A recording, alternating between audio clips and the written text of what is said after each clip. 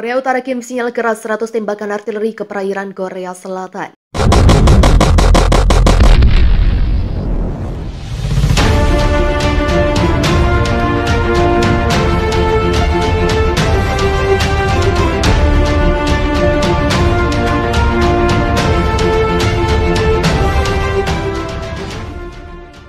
Pasukan militer Korea Selatan mengatakan Korea Utara menembakkan peluru artileri ke Laut Timur dan Baratnya pada Selasa 19 Oktober malam.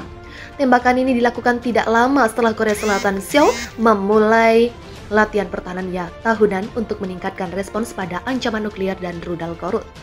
Kepala Staf Gabungan Angkatan Bersenjata Koresel mengatakan bahwa Korut menembakkan sekitar 100 peluru ke laut di pantai barat sekitar pukul 22 malam waktu setempat dan sekitar 150 peluru ke arah laut di pantai timur.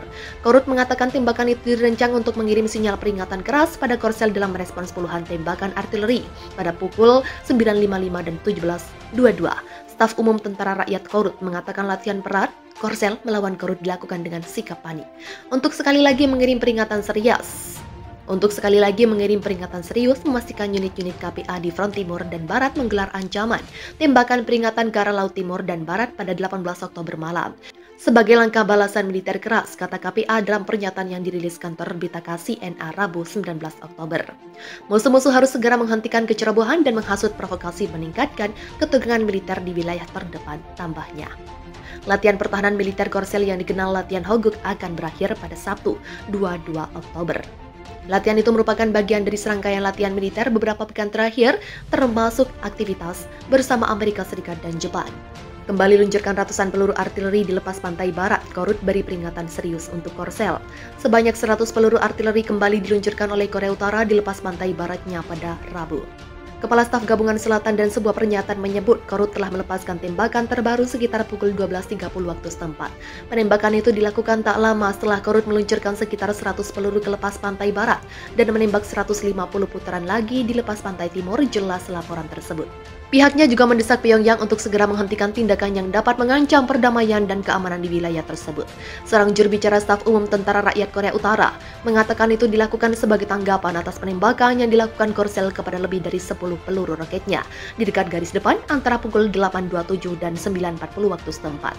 Tentara kami sangat memperingatkan pasukan musuh untuk segera menghentikan tindakan provokatif yang sangat menjengkelkan di daerah garis depan, kata pejabat KPL seperti di Muat KCNA. Pihak Korut juga mengatakan bahwa tembakan itu dirancang untuk memberikan peringatan serius dan tindakan balasan militer yang kuat ke Korsel. Tahun ini Pyongyang telah melakukan uji coba senjata dengan kecepatan yang belum pernah terjadi sebelumnya. Mereka bahkan pernah menembakkan rudal balistik jarak dekat ke perbatasan antar Korea yang bersenjata lengkap pada 14 Oktober lalu. Korea Utara kembali menembakkan dua rudal balistik Jumat 7 Oktober. Ini menjadi balasan terbaru dari respons Korea Selatan dan sekutunya Amerika Serikat selasa malam. Korsel dan AS menembak empat rudal dalam latihan militer gabungan guna menunjukkan kesiapannya atas provokasi Pyongyang. Ini dilakukan pasca rudal balistik jarak menengah ditembakkan Korut Senin. AS meningkatkan ketegangan militer di semenanjung Korea, ujar Korut dalam keterangannya menyalahkan AS yang juga mengirim kapal induk ke wilayah itu. Dikutip AFP, ini tindakan belasan yang adil dari tentara rakyat Korea pada latihan bersama Korea Selatan AS, tambah Kementerian Luar Negeri Pyongyang. Sebelumnya militer Korsel telah mendeteksi rudal balistik jarak pendek Korut yang diluncurkan dari daerah Samsung. Rudal itu dilaporkan menuju Laut Timur, juga dikenal sebagai Laut Jepang. Militer kami telah memperkuat pemantauan dan pengawasan dan mempertahankan kesiapan maksimal dalam koordinasi dengan Amerika Serikat, kata Kepala Staf Gabungan Seoul dalam sebuah pernyataan. Penjaga pantai Jepang juga mengkonfirmasi ini Perdana Menteri Fumio Kishida mengatakan kepada wartawan bahwa serentetan pengujian baru-baru ini tidak dapat diterima. Rudal pertama rudal pertama terbang sekitar 350 km pada ketinggian maksimal sekitar 100 km. Sedangkan rudal kedua memiliki jangkauan terbang sekitar 800 km pada ketinggian sekitar 50 km. Jelas Menteri Pertahanan Jepang Yo Yasukazo Hamada. Terlepas dari tujuan peluncuran rudal balistik Korut yang berulang tidak dapat ditoleransi, kami tidak dapat mengabaikan peningkatan signifikan dari teknologi misilnya, tegasnya. Sementara itu, Dewan Keamanan PBB berkumpul di New York AS membahas rudal Korut. Pada pertemuan itu, sekutu lama Korut Cina menyalahkan Washington karena memprovokasi serentetan peluncuran oleh rezim Kim Jong-un. Wakil Duta Besar Cina untuk PBB Geng Suang mengatakan peluncuran rudal Korut baru-baru ini terkait dengan latihan militer di kawasan yang dilakukan oleh AS. dan sekutunya. Geng menyebut AS meracuni lingkungan keamanan regional di sisi lain, Duta Besar AS untuk PBB Linda Thomas Greenfield menyerukan penguatan sanksi terhadap korup. Sebelumnya hal tersebut diveto Cina dan Rusia. Korea Utara kembali menembakkan dua rudal balistik ke laut pada hari Jumat sebagai balasan atas peluncuran rudal yang dilakukan dalam latihan militer gabungan Amerika Serikat dan Korea Selatan ketika Dewan Keamanan Perserikatan Bangsa-Bangsa bertemu untuk membahas peluncuran rudal balistik jarak menengah Pyongyang pada hari Selasa lalu di atas wilayah Jepang, Korea Utara menyalahkan Washington karena meningkatkan ketegangan militer di semenanjung Korea. Dilansir kantor berita AFP Jumat 7 Oktober, Kementerian Luar Negeri Korut menyatakan peluncuran rudal ini adalah tindakan balasan yang adil dari tentara rakyat Korea terhadap latihan bersama Korea Selatan AS. Pada Jumat pagi waktu setempat, militer Korea Selatan mengatakan telah mendeteksi rudal-rudal, dua rudal balistik jarak pendek yang diluncurkan dari daerah Samsung di Pyongyang. Menuju Laut Timur juga dikenal sebagai Laut Jepang. Rudal pertama terbang sekitar 350 km pada ketinggian maksimum sekitar 100 km, sedangkan rudal kedua memiliki jangkauan terbang sekitar 800 km pada ketinggian sekitar 50 km.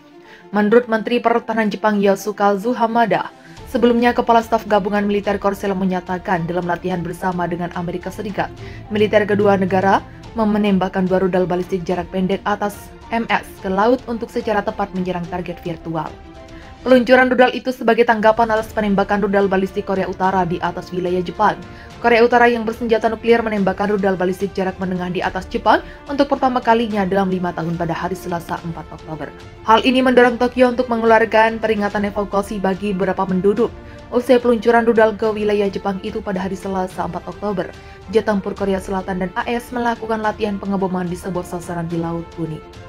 Latihan tersebut bertujuan untuk memastikan bahwa kami memiliki kemampuan militer yang siap untuk menanggapi provokasi oleh Korea Utara jika itu terjadi.